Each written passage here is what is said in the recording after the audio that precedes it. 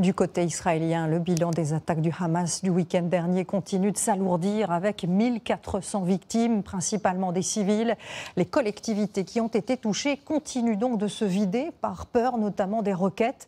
Celle de Sderot, euh, elle, ressemble désormais à une ville fantôme, ville où se sont rendus euh, François-Xavier Ménage, Alice Chomy et Axel Charles Messens. Regardez. Une ville de 27 000 habitants comme abandonnée. Ce supermarché, désormais cadenassé. Après neuf jours de bombardement, ceux qui hésitaient encore décident ce dimanche de tout quitter. En pyjama, cette mère de famille part rejoindre des proches. Une alerte se fait alors entendre.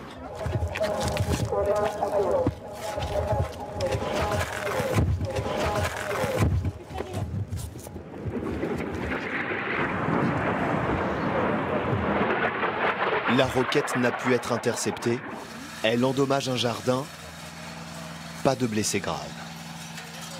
Les autorités demandent depuis maintenant plusieurs jours à tous les habitants de quitter les lieux. On est à moins de 2 km euh, de la bande de Gaza. Vous voyez ici les militaires qui sont déployés ainsi que des pompiers euh, pour euh, essayer de sécuriser cette zone.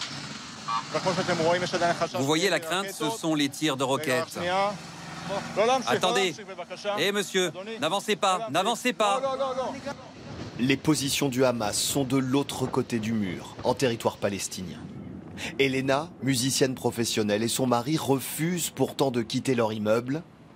Lui, depuis son bunker, parle d'un acte de résistance. C'est mon pays, c'est ma maison. Je n'ai pas peur.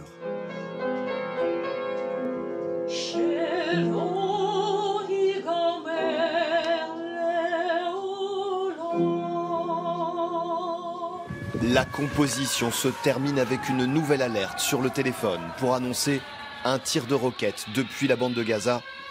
Neuf jours que Sderot est sous les bombardements.